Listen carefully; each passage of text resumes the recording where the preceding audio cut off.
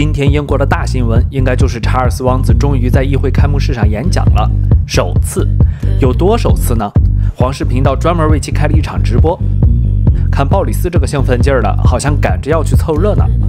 查尔斯讲话前，我注意到一个细节，他盯着王冠看了足足十秒钟。